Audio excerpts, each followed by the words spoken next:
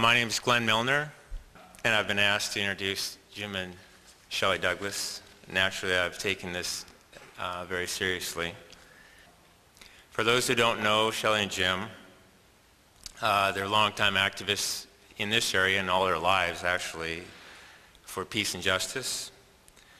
In 1977, they founded the Ground Zero Center for Nonviolent Action in Poulsbo, Washington where they worked on issues of nonviolence, nuclear weapons, and the Trident submarine system. In 1989, Shelley and Jim moved to Birmingham, Alabama to track trains carrying nuclear weapons across the United States. In 1993, Shelley and Jim founded Mary's House, a Catholic worker house of hospitality for homeless families in Birmingham, which they still maintain today. Since the early 1990s, Jim and Shelley Douglass have made seven trips to Iraq in resistance to the Persian Gulf War, economic sanctions against Iraq, and the ongoing Iraq War. Since 1996, Jim has been researching and writing about the assassinations of John F. Kennedy, Robert Kennedy, Martin Luther King Jr., and Malcolm X. The Douglasses have put their lives in addressing the questions of our times. How shall we live as disciples of Jesus? How do we live nonviolently? How do we take personal responsibility for our government's actions and for our own? The Douglasses consistently have put their beliefs into practice. My deepest thanks to uh, Shelley and Jim Douglass uh, for speaking to us today. I'd like to thank Ann for having us, having us here. Uh, for many in the Puget Sound region, resistance to nuclear weaponry in our area has been a defining period in our lives. It has, has for me. For most, that challenge has been put before us by Shelley and Jim Douglass and others involved in the Trident resistance. And for that, I'll forever be grateful to Shelley and Jim uh, my friends.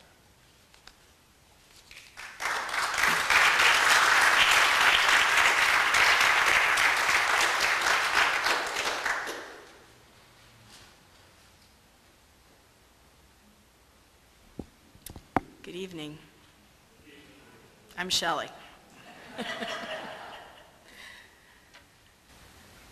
oh, we've, we've spent the whole week in uh, Lacey, Washington, talking about the four assassinations of the 60s, the Gospel of John, and how we live today.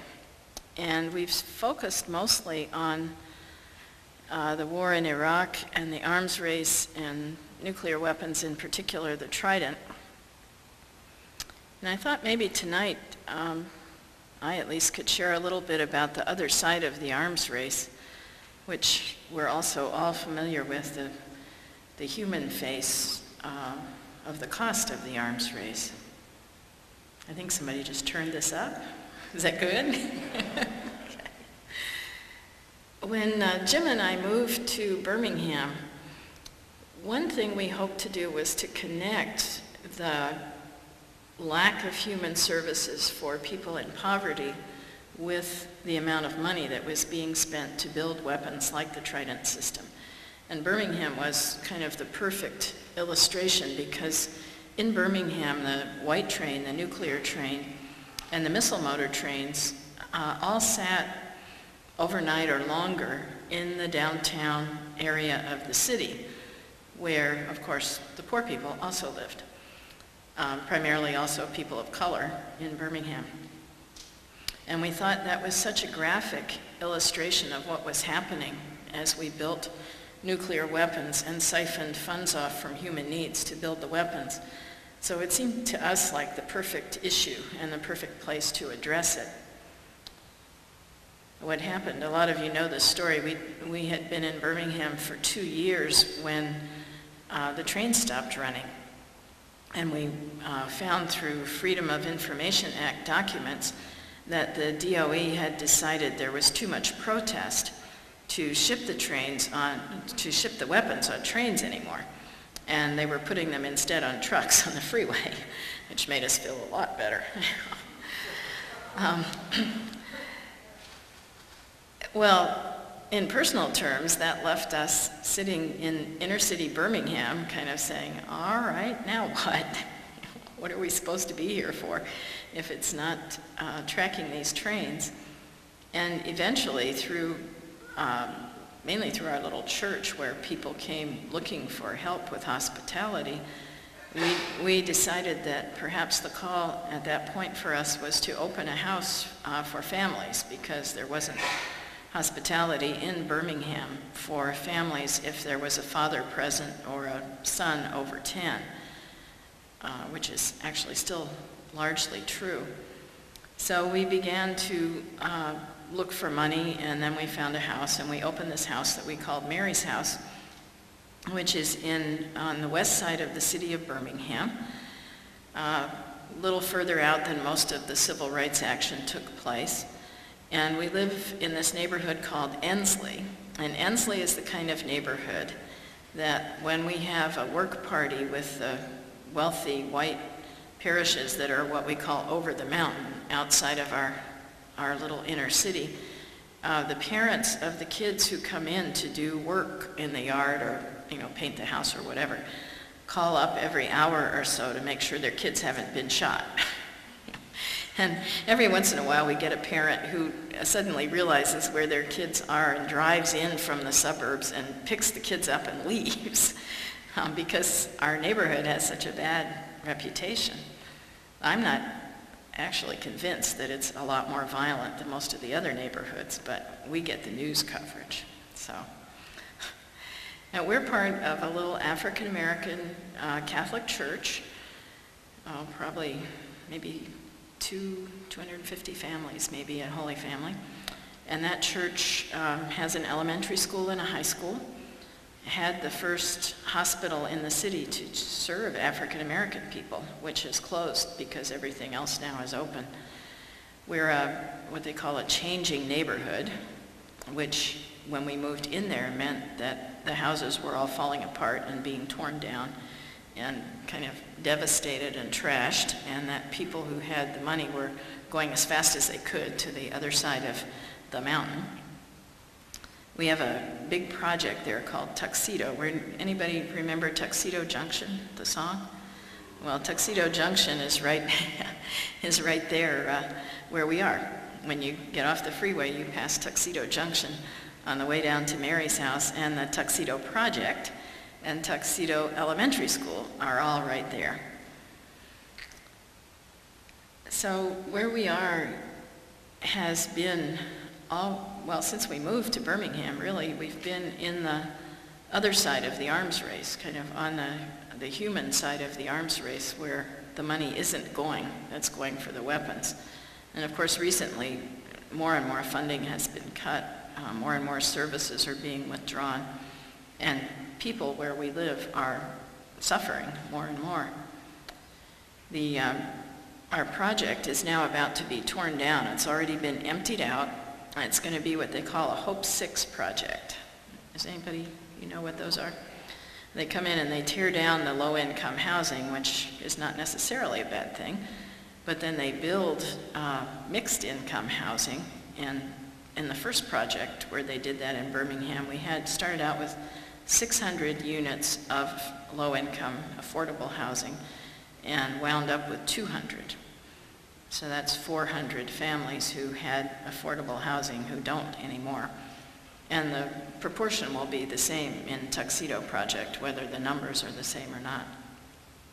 So now our property values are beginning to go up. Um, they've kind of abandoned all the housing stock in the area, and every day when I walk to Mass, I walk by and see that it's been further trashed. Um, people are taking all the siding off, they take the windows out, they pull the wiring out of the wall, I think to sell, um, to get drug money. But nobody cares anymore because it's all going to be developed. It's all going to be made into middle to upper income places. And the people who are living there now who are in despair are maybe going to be still in the same neighborhood on the streets, or maybe they'll be moved somewhere else. Um, nobody really knows. Because nobody's got a plan for what's going to happen to them. A lot of the people in our church um, have taken what they regarded originally as kind of weekend or summer jobs with military. Um, It's very common in Alabama, of course, we have very low income per capita, and people don't make much at work. So lots and lots and lots of people sign up for the reserves or the National Guard so that they can make some extra money, you know? And most of them, when they signed up, never thought about going to war. They thought about maybe going for flood relief or hurricane relief in Florida or, you know, going away for training over the weekend, something like that. And all of a sudden now they've been being called up and sent to the Middle East where they have to shoot at people. And people shoot at them and people blow them up.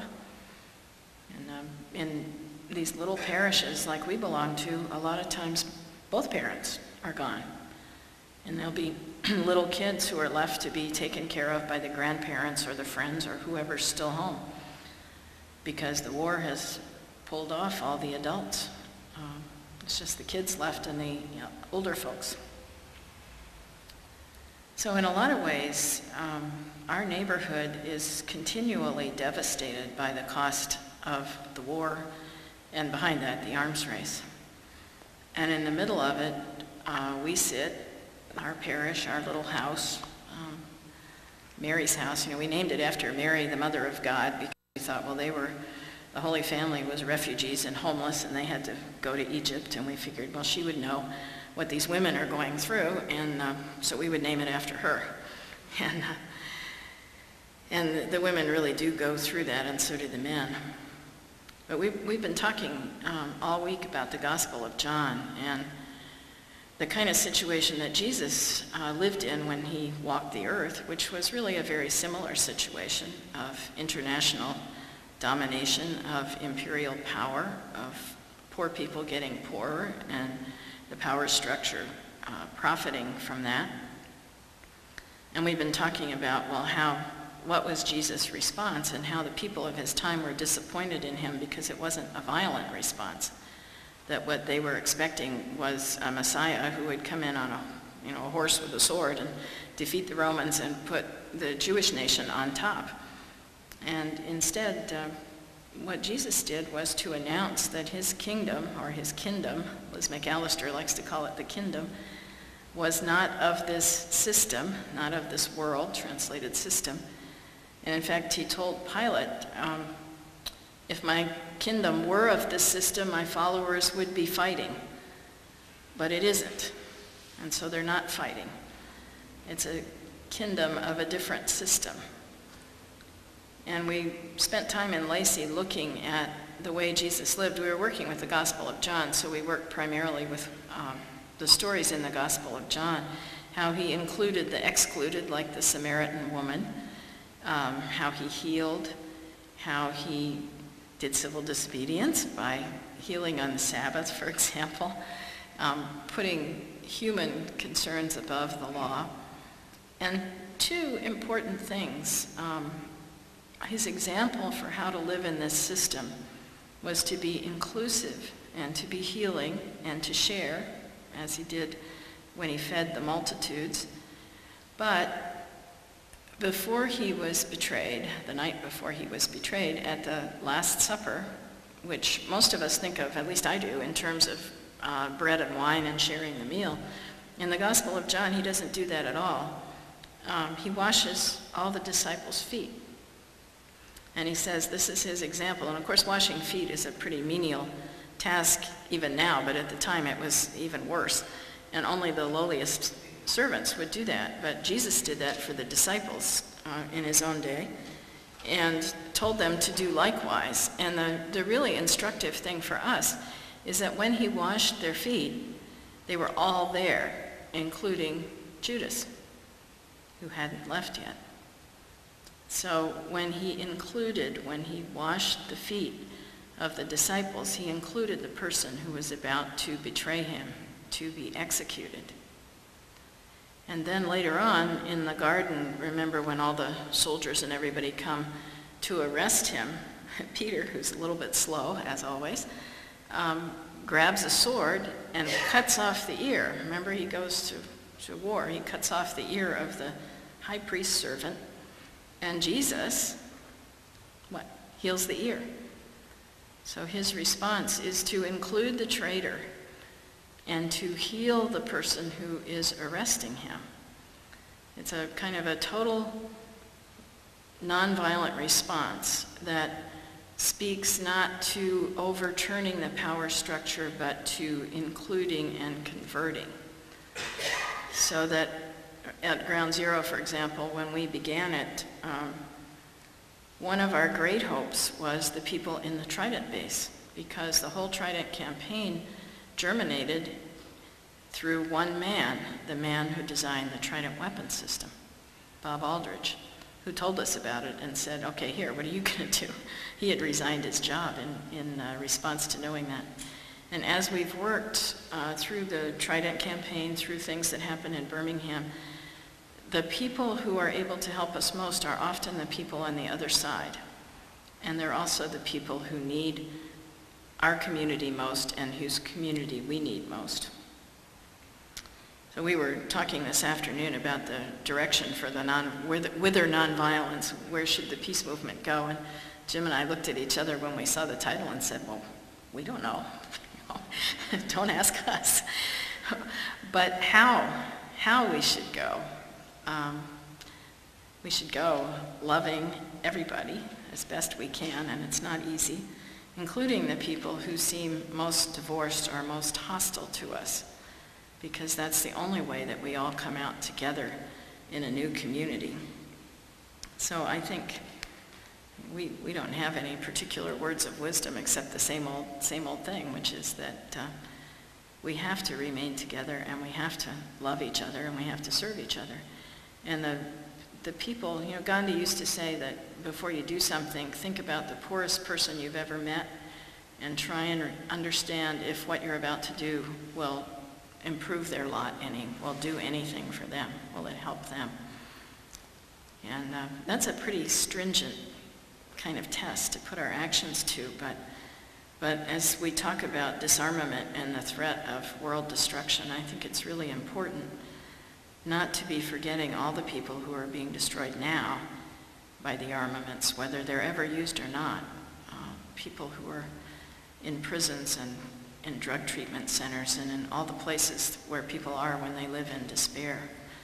So I just hope that uh, we can keep all those folks in mind as we do our struggling with the arms system and, uh, and be linked into that community as well. I was looking at the, uh, the title, um, Transforming Truth. Um, the first part of the title. And um, that is a, um, that's a title that basically for me means Mohandas Gandhi, um, transforming truth, transforming truth.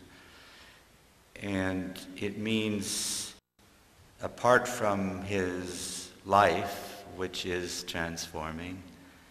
Um, it means the process that he gave us, um, which is transforming, that he describes by his um, autobiography title, The Story of My Experiments in Truth.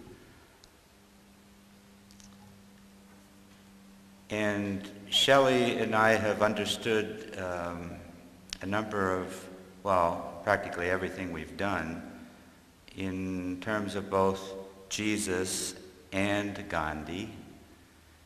And in one sense, we've been experimenting in truth with Jesus' teachings. So the process, to a very large degree, comes from Gandhi, and the, um, the vision actually comes from both of them. But uh, the vision comes initially and primarily from Jesus, but the process comes from Gandhi. Um, since we've moved from this part of the country to Birmingham, um, as Shelley said, we've moved into a situation where we've seen the other side of the arms race, which was our purpose, one of our purposes. Part of our purpose was, she said, to um, live alongside the tracks of the trains, the same trains whose tracks we lived alongside of um, by the Trident base.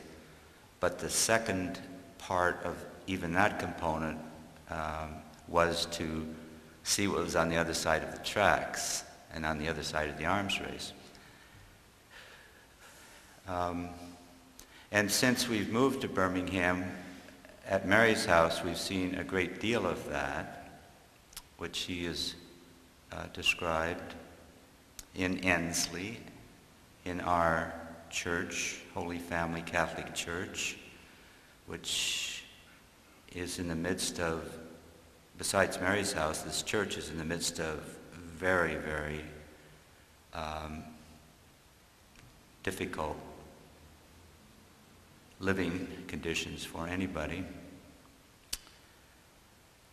So that's the other side of the arms race. And then something um, I've, been in, I've been involved in for the last nine years has been the other side of the other side of the arms race.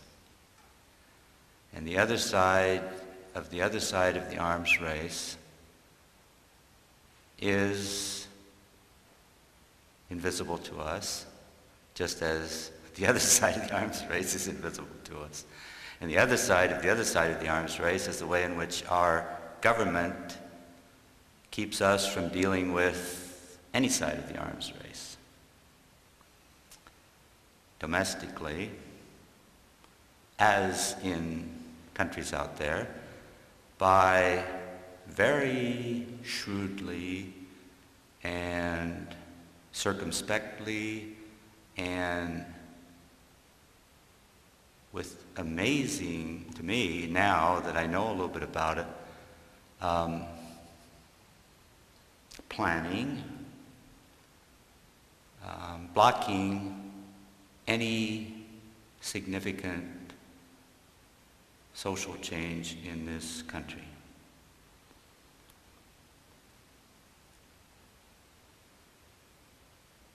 I was introduced to that side, the other side of the other side of the arms race, through Dr. King and his assassination um, many years ago, 1968. He died April 4, as you know, 1968.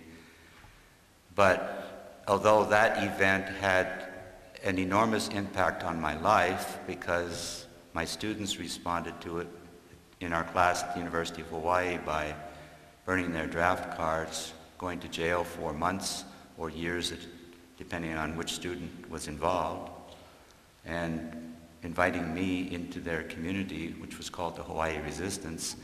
So I had to walk a little bit the talk that I did in our class.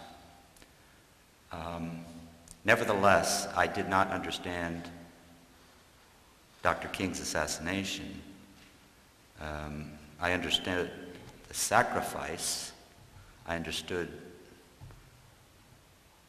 the gift of life that he gave, but I did not understand the process by which his life was taken. I did read the last book he ever wrote, which he more did more in this form. Uh, it was a series of radio lectures over the Canadian Broadcasting Corporation. It was called uh, Trumpet of Conscience. And when I read that book, I thought, because he envisioned um, stopping the functioning of Washington, D.C., and cities across this country and across the world as a process of nonviolent change, which is a very massive revolutionary process, I thought this man was probably not killed by a lone assassin named James Earl Ray. What he had in mind, which was more immediately the Poor People's Campaign, to disrupt the functioning of Washington until the Congress would eliminate poverty from the United States, which is always within our reach, but not within our choice. Um, that was a vision that was, even to someone as naive as myself, intolerable to the powers that be. So I began to suspect very strongly, just from reading that book, that there was a lot more involved in what killed him. Then in the 1990s, when we were living in Birmingham, um, I began to read some things and eventually about his death and eventually attend hearings about his death in Memphis, Tennessee, and finally attend a trial for six weeks um, in November, from November 15th to December 8th, 1999, just culminating as the Battle of Seattle took place. So while I would see the Battle of Seattle, as it was called, um, on the media at night, I would go to, in the day to the courtroom and see the Battle of Memphis in 1967 and 1968, and they were the same battle. They were the same battle. And Dr. King was alive and well in the community that was working to resist the World Trade Organization, including a number of you probably. I'm sure, I know, actually. Um, and he was alive and well in that courtroom in terms of um, what I heard there from his co-workers as the reasons why he was killed. And the specific reasons were given by 70 witnesses who included uh, people testifying to the culpability, not the culpability, but the actual responsibility of the United States government. And the jury of six blacks and six whites in this wrongful death lawsuit initiated by the King family, all of whom sat at one point or other. There was always a member of the King family in the courtroom from beginning to end, um, with very eloquent testimony from all of them. Um, that trial resulted in a conclusion by those six blacks and six whites that the government agencies of the United States were involved in the assassination of Dr. Martin Luther King. A verdict that um, you can read all about at kingcenter.com. Um, the whole trial is on record in, uh, at the King Center archive or website in Atlanta. And ever since then, that trial especially, I've been trying to understand the other side of the other side of the arms race in relation also to Malcolm X, who is the other side of the vision of Dr. King at the end of his life. Malcolm died in 65, February 21, 1965. But if you follow the history of Dr. King after Malcolm's death, he was Malcolmized. He went into, as you know, the Chicago ghetto. He lived there. and the whole vision that Malcolm was responding to in the northern cities, which King up to then had responded to in the southern uh, dimensions of racism, King took on. And at the very end, the militancy of Malcolm had come home to King, and in his resistance to the Vietnam War, which he took on one year to the day before his death, and in his um, vision of disrupting uh, those cities until our country and government in particular came to terms with economic racism and the destruction of the poor in this country and across the world, that was a Malcolm vision as well as a King vision. It really was. And Malcolm's vision at the end of internationalizing the resistance to racism, because racism is international to begin with, making civil rights human rights. King was taking on all of that at the end of his life, but Malcolm was earlier than King on that particular issue, taking civil rights to human rights. That was a Malcolm vision. That was why he was killed. The last, in the last seven months of his life, four and a half of them were not in this country. They were in Africa. He was the best known American in Africa in 1964 um, after the Mecca experience where he embraced traditional Islam. He met with leader after leader after leader throughout Africa in order to bring the United States to court in the United Nations alongside South Africa for violation of the rights of 22 million African American people. And he had the support of the leadership of the newly liberated countries of Africa. He was the only American permitted to attend the Organization of African Unity in Cairo in August 1964. The government of the United States wanted to send an observer. They were not allowed to. The leaders of Africa said, we'll invite Malcolm X, not the U.S. government. That was the kind of person he had become at that time. And he was poisoned in Cairo by a man whom he recognized when after he had been rushed to the hospital, he realized the waiter who gave him that was someone he knew from New York City who had been smuggled in as a waiter and CIA were hounding him. They'd even sit, they'd sit at the next table. The agents would sit at the next table wherever he was in Africa and he would go and talk to the agents. Um, um, I'm not going to go on at great length about this. I'll just say a couple of things and then um, we go on in a larger group. But uh, John Kennedy and Robert Kennedy have been the most amazing of all to me because um, they don't fit my theology. Um, we're Catholic workers, and the upper realm of the power structure doesn't fit. It, in, a, in a way, it doesn't fit. I mean, in a way, it, it should, because we need to stretch. But for myself, I have a prejudice against people of power. Um, so I think does um,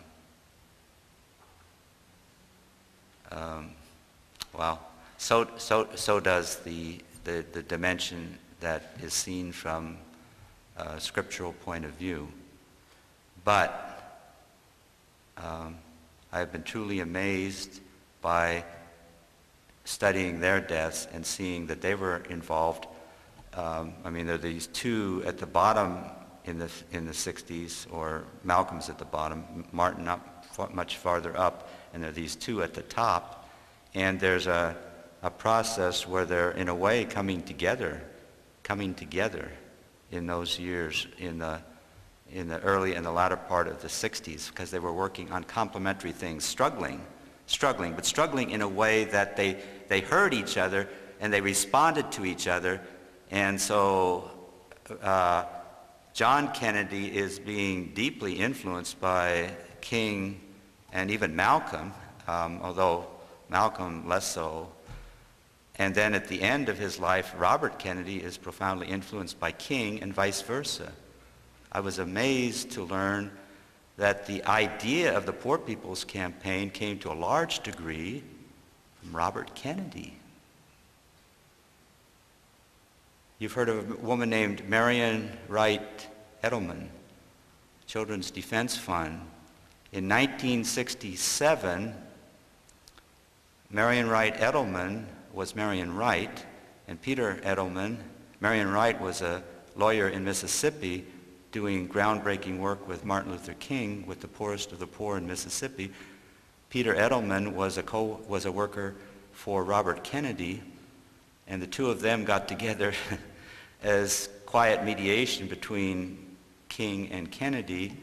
And in that process, one day, Peter Edelman and Marian Wright were sitting with Robert Kennedy at his home, um, and Robert Kennedy said, you know, you know, he knew, of course, what Marian Wright was doing and where she was going the next day, which was to be with Martin Luther King. And he said, you know, the thing that really has to happen is if we're serious about eliminating poverty, We've just got to make it so unbearably hard for the legislature in, in the United States Congress that they can't do anything other than pass this legislation. And he said, you know, you know how to do it.